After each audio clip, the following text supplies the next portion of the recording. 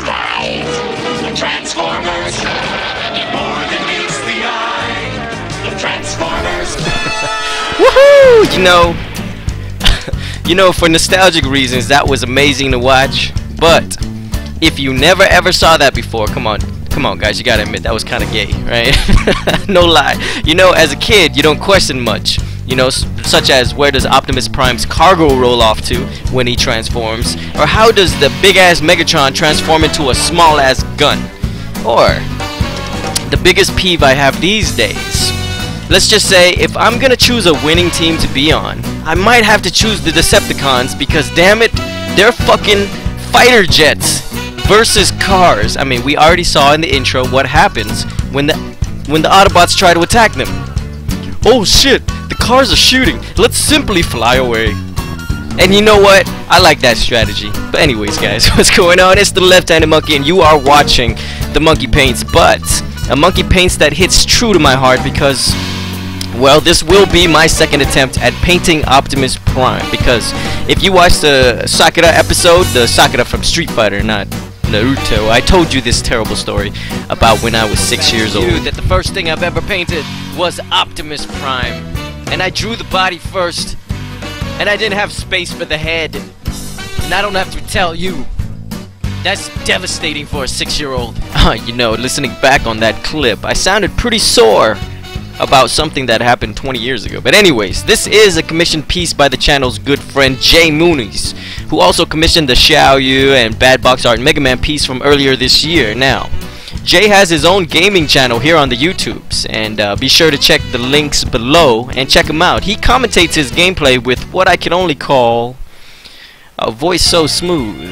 I've heard My brother from some other Asian mother. I'd want to call him Barry Yellow.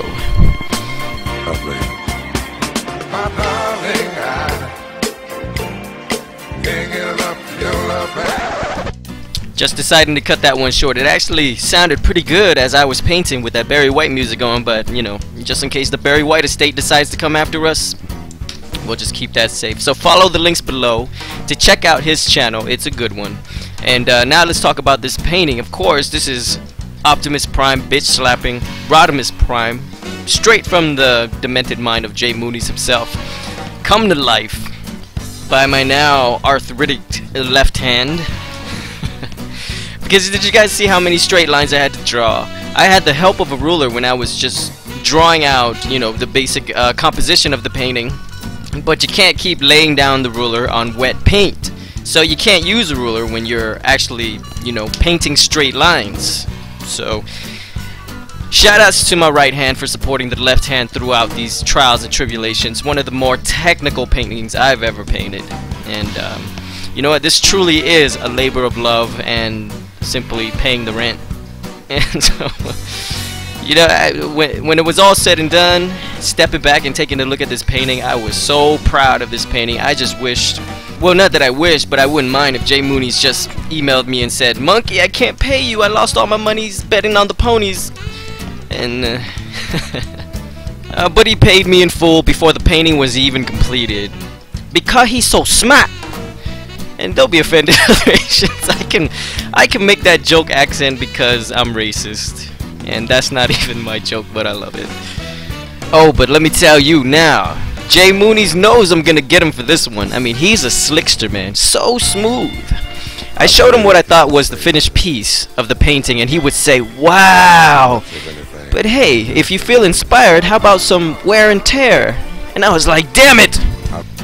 If he wasn't right about that, that was a good idea. So I added the wear and, you know, also the tear. And once again, I presented him with what I thought was a finished piece. And he was like, wow! But you know, the upper right hand corner looks a little empty. Just saying! If only a severed Unicron head were floating there. Just saying. Now, in my head, I was like, this is what I get for working for an Asian person. You know, they want to squeeze that last ounce of that dollar. You know what I mean? you know I only kid, guys. I'm Asian too if you haven't figured it out by the back of my head yet. But you know what? Jay was right. Once I put that Unicron head in there, it did make the piece look a lot better. And you know what?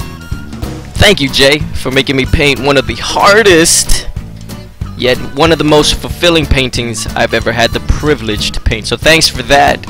Guys, I am the left-handed monkey. I hope you guys enjoyed this video. Peace out.